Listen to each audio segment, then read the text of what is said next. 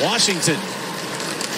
Extra attacker on the wraparound try goes up in the air. They bat it in. They score. Wade Allison again going to the net. I believe got his stick on it last.